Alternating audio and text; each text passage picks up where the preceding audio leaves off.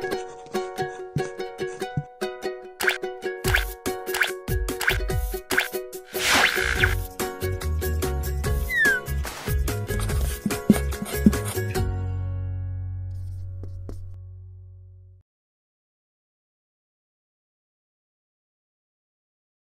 My name is Ziwei Li. So we're at uh, UCLA and I work specifically in Dr. Amander Clark's lab.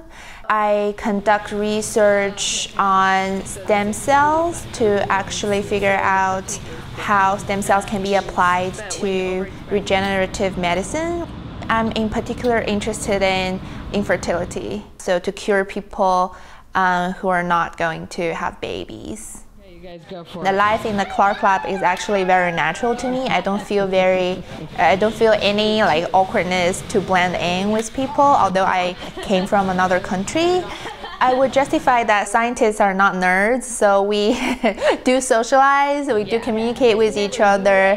So I think it's pretty pleasant working environment here at UCLA, in the, especially in the Clark lab, probably in the whole floor, the because we don't uh, we don't have walls separating different labs, so we know um, other people in other labs pretty well actually, and we hang out.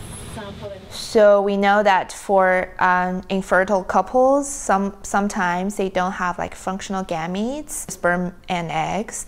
Um, and regenerative medicine in this case is to create uh, sperm and eggs in a dish, which is our final final goal to actually help them to um, fertilize and uh, have babies.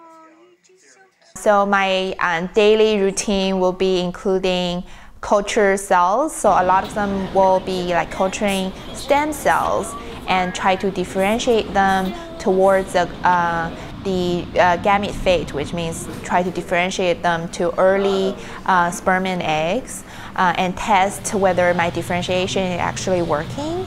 I'm currently working on a gene called PRMT5. It's required for the germline formation in humans um, and in mammalians basically, uh, and it's also implied to have a role in cancer formation.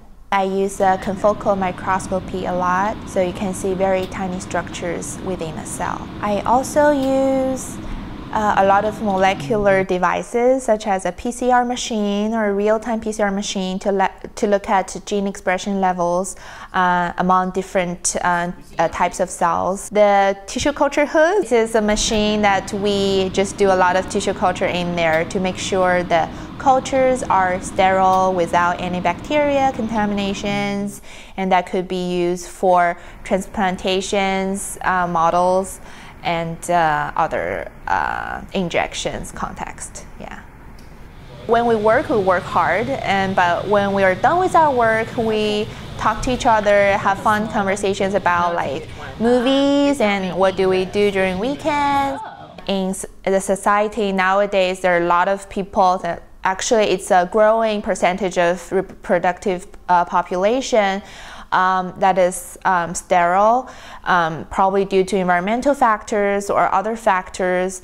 Um, and I think this is a huge problem because as a sexual reproductive species, um, I think being able to regenerate ourselves are very important. So it's a very critical uh, health problem to solve. My dreams um, are to actually help the sterile couples to create functional gametes for them to fertilize and have cute babies without any um, problems. Um, then that will be very fancy for me. Yeah.